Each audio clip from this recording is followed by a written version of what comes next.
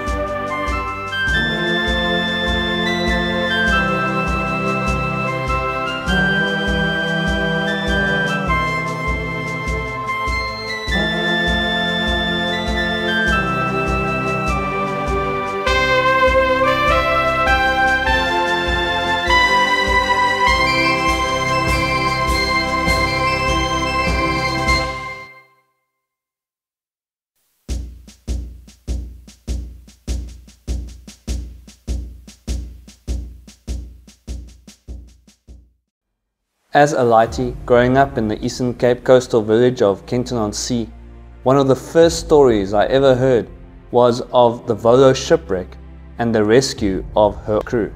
Now, Kenton is situated on a strip of coastline between Port Elizabeth, or Gqeberha today, and East London, known as the Sunshine Coast.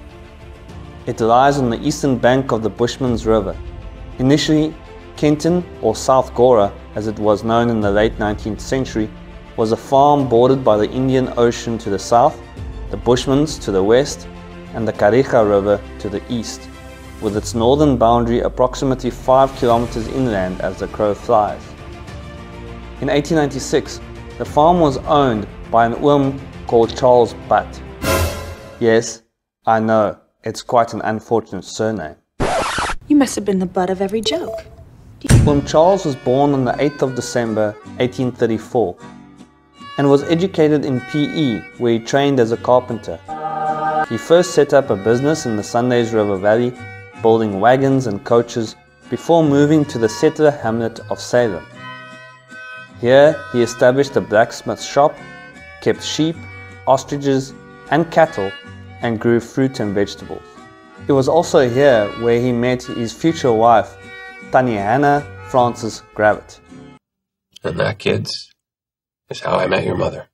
The Butts became highly valued citizens of Salem. According to the Grahamstown Journal of January 1870, Oom Charles was appointed as field cornet of the Lower Bushmans River Ward in the division of Albany. He was by all accounts very diligent in carrying out his duties. After his appointment ended, he continued to trade as a general dealer in Salem and carried on keeping the peace in the district. The Butt children attended a so-called multiracial school in Salem. I say multiracial in quotation marks because a bench down the middle of the classroom still separated the white children from the black African children. Over holidays, the Butt family would trek down with Oom Charles's business partner, George Wood, and his family to the Bushmans River mouth. Then, during one such holiday in 1863, Oom Charles and George rode from the western bank of the Bushmans to the eastern side, where they found a cave. Both men carved their names into the sandstone wall of the cave. Their inscription can still be seen there to this day. The cave would later become known as Butt Cave. After discovering a freshwater well at a place we Kentonians today know as Dry Bones Valley, Oh, well, bone, bone, dry bones. the two men decided that this piece of land, called South Gora, would be a great location to spend their retirement. In 1878, they took final transfer and ownership of the land. Once the Butt children were all grown up, Oom Charles sold his business in Salem and he and Tannie Hannah moved to South Gora Farm on a permanent basis. But Like every retired person I know, Oom Charles couldn't just sit back and relax. He was constantly looking for things to do, and he wasn't disappointed. Back in those days, due to the location of his land between two rivers, the only way to get there was either on horseback through dense bush or by boat. So he went about clearing a narrow road to South Gora. We'll follow that trail. What trail? The trail that we blaze. Oom Charles also built their stone farmhouse himself on top of a hill overlooking the Indian Ocean. He and his three sons, Charles Jr., William, and Arthur, moved their stock, sheep, and cattle from Salem. Soon the land on South Gora was being ploughed, with tobacco, crops, and vegetables being planted there. Oom Charles was still keen on his carpentry and left the farming to the sons. He also felt that now that he was retired, he could focus on what he called hobbies, like deep sea fishing and studying the fauna and flora of the area. Tannie Hannah and the three daughters kept themselves busy with household chores and tending to the eye-catching garden. One day, Oom Charles bought himself a whaleboat and fitted it with a sail. He recruited a crew of covered fishermen from the nearby Klipfontein community who he could take along on deep sea fishing sorties. He also built a ramp made from cocopan rails at the beach known today as Middle Beach.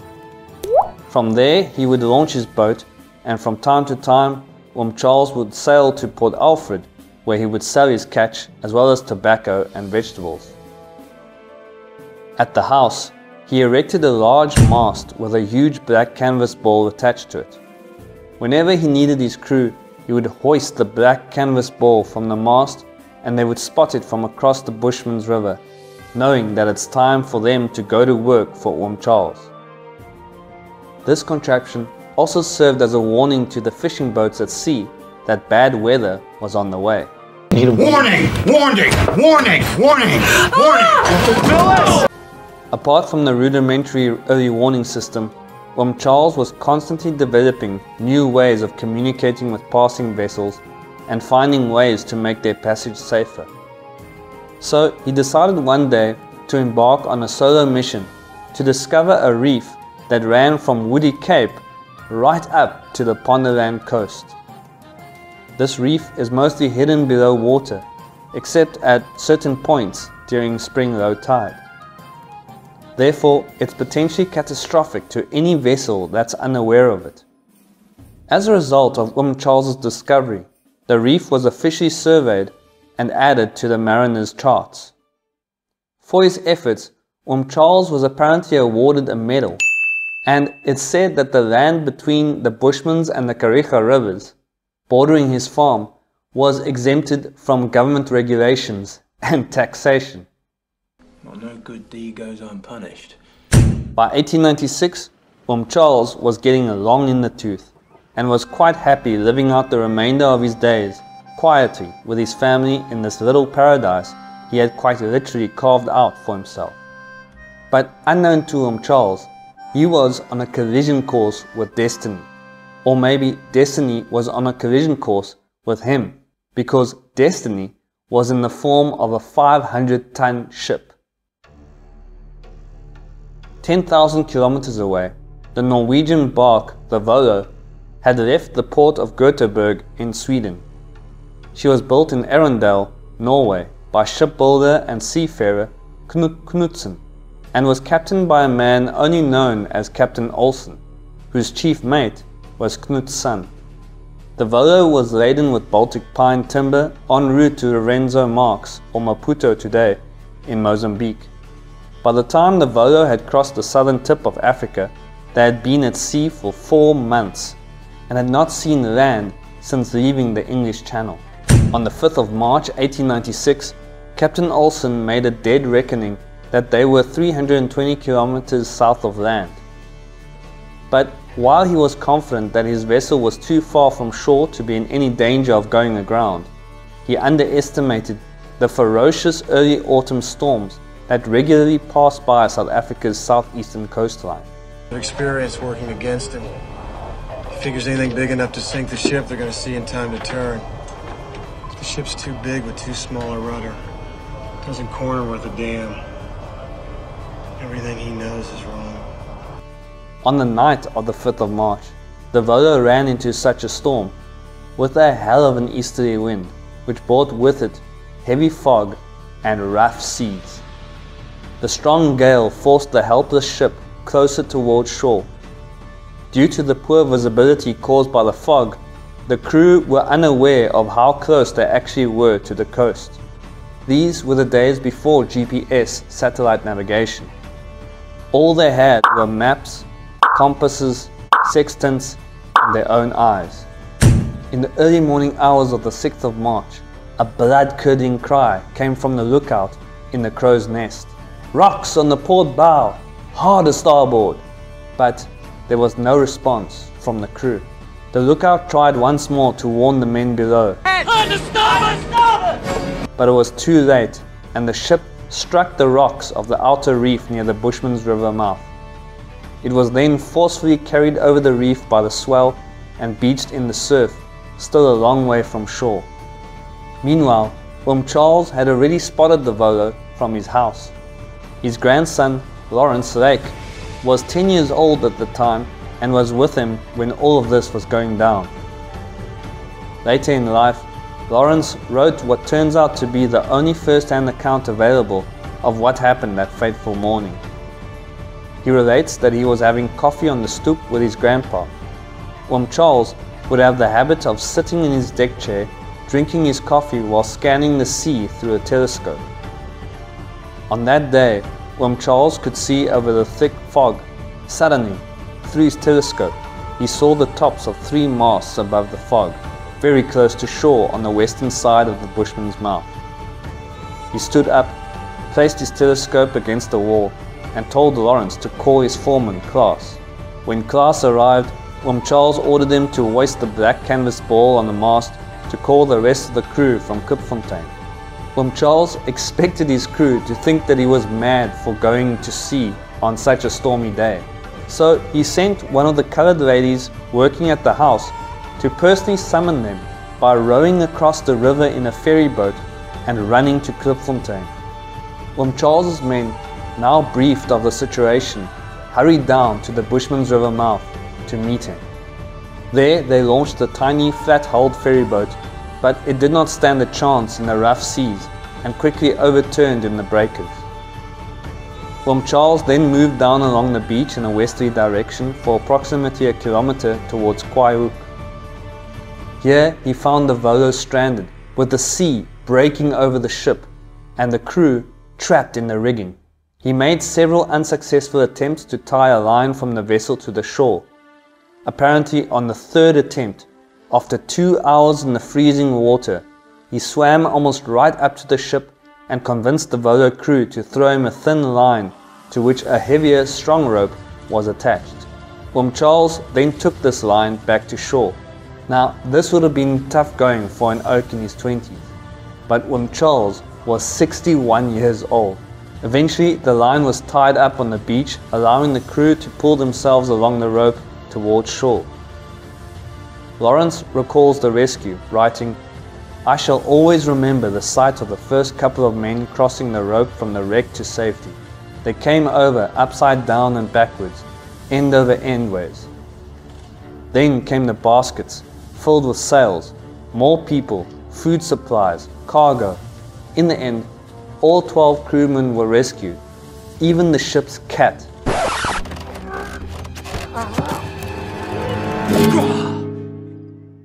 You've got to be kidding me. Now the story goes that about at the same time from Charles' struggle in the surf, another rescue attempt was being made by an oke called Johannes Abraham Kaljan Scheepers, a 30-year-old Alexandria farmer. Please don't ask me why he was called Kalyan. I don't know the answer myself, but knowing the Eastern Cape and its penchant for crude nicknames, I think the answer might be too ghastly to contemplate. Anyways, Apparently, old Carl-Jan wanted to be the second Wolraad Woltemade and rode into the sea on his horse in an attempt to bring the line ashore. I don't think Carl-Jan was quite aware of the fate of the first Wolraad Woltemade, but be that as it may, he still tried to create his own legend. Now, to this day, there is still quite a lot of controversy as to who exactly brought the lion ashore. You see, in South Africa, a bitter rivalry between the Afrikaners and the English has existed since the days of Slagter's Neck. It's some kind of blood feud, I guess, been going on for a long time. And at the mouth of the Bushman's River, you had two separate communities developing on either side. On the west bank lies the traditionally Afrikaner holiday destination of Bushmans Bushmansriviermond. And on the east bank lies the traditionally English holiday village of Kenton on Sea. So you literally have an Afrikaans side and an English side. The tensions have simmered down a bit now, but 120 years ago, the Rooinek rock spider quarrel was at its zenith. Now, as fate would have it, the Volo wrecked on the western side of the Bushman's mouth, which meant that this was on the Afrikaner side. So the Afrikaners of Bushmansriviermond tend to place a bit more emphasis on the role that Carl-Jan played in the rescue. Willem Charles was quoted in the Grahamstown Journal saying that he, Carl-Jan, didn't know as much about the currents as I did and wisely gave up the attempt. But in Lawrence's own account, Carl-Jan still played quite a significant part in the rescue, albeit in a supporting capacity. According to Lawrence, as Willem Charles swam back with a thin line, Carl-Jan helped to pull the heavier rope out of the surf and together they secured the rope to a post, which was then tightened by a winch on the ship. Another version, told by Willem Charles's other grandson, Stanley Butt, a local maritime legend in his own right, goes that once the ferry boat capsized, Willem Charles continued to swim to the ship. There, he assembled a raft for the crew, after which he returned to shore on a bundle of timber with a rope from the ship. The crew then attached a thicker rope to the one Willem Charles had taken to shore. The thicker rope was then pulled in by Willem Charles and Carl-Jan and attached to the bundle of timber before being buried by Carl-Jan in the sand to act as an anchor.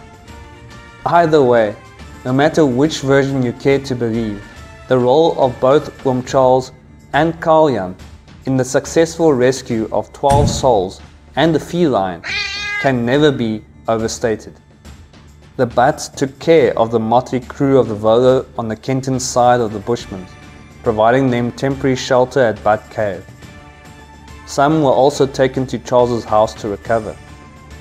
Later, the cargo of timber was offloaded at a low tide through a hole cut in the side of the Volo and stacked on the beach well above the high water mark. As for the crew, very little is known about their whereabouts after their recovery. It's believed that some of them remained in the area and actually took up farming. Captain Olsen himself did not immediately return home to Norway. I guess he was not too keen to explain to Knut and his investors how he managed to lose their ship and the cargo. I is not make sure. Olsen eventually left, but it's thought that he probably spent the rest of his days in South Africa. For his efforts, Um Charles was awarded yet another medal, this time a silver medal and certificate by the Royal Humane Society in London for his bravery. In addition, the Norwegian government also sent him a medal as well as a photograph of the Volo in full sail. Finally, he was rewarded with half of the ship's cargo.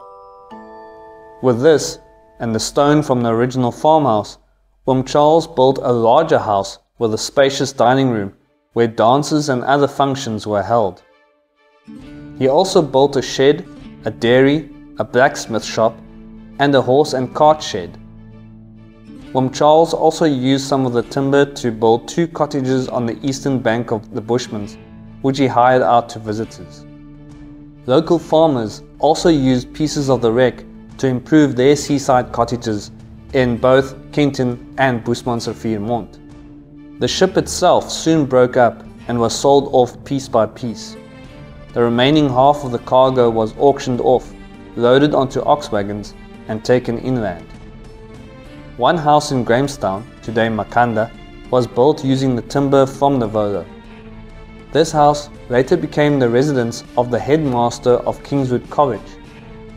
After that, it became Hobson House, one of the school's boarding houses. Remnants of the Volo can still be seen all over the area. The Volo's anchor can be found outside the Bushmansriviermond town hall. Pieces of the wreck and anchor gears are periodically exposed along the beach towards Kwaaihoek, and the ship's keel is submerged in the Bushman's mouth. Sometimes when the water is clear and another great storm has caused the sand to shift, you can still see the long dark shadow of what was once the backbone of the Volo. But perhaps the most enduring legacy of the Volo is intertwined with the fate of the ship's cat. Once rescued, the cat immediately adapted to his new surroundings at the southern tip of Africa and thrived. In fact, he thrived so well here that it's said that his progeny still live on in the bushcat population of Kenton and Bushmansriviermond. You are the love of my life. As uh, are you. And uh, you. And oh, uh, hi. Um, I don't know you, but I like to. I gotta go. Now, like virtually in every story, there are also some aspects of this story that have been completely embellished over time. For example, it was always part of the Volo legend that the two Norfolk pines that stood on the hill where the Butt farmstead used to be had been sent to Oom Charles by Captain Olsen or by a grateful Norwegian government. But the facts are that after the South African War ended in 1902, Oom Charles took a trip up to Durban by ship. There he bought four small trees from an Indian trader and brought the trees back to the farm in his suitcase. To Tannie Hannah's disgust, Oom Charles planted two of the trees right in the middle of her precious flower beds. These trees can reach a height of up to 60 meters. As a result, the trees were visible for vessels out at sea, and they have actually been marked on the mariner's charts as landmarks. Not much is known about what happened to Carl Jan after his heroic exploits. The historical record shows that he continued to farm in Alexandria and fathered at least eight children before passing away in 1938. As for Oom Charles, he lived out the rest of his days with his beloved wife and children and grandchildren, doing what he loved. Then, on the 9th of July 1906, Charles Butt, an ordinary man who lived an extraordinary life of service, passed away quietly at the age of 71. His name may be inextricably linked to the incredible events which took place on the 6th of March 1896. But the truth is, Oom Charles dedicated his whole life to helping others. He may have been the soft-spoken small-town hero nobody has heard of, but for those who have heard of him and have crossed paths with him, he made a monumental impact on their lives. It's for that reason that Charles Butt's story deserves to be told. That's it for now. Until next time, stay stashy.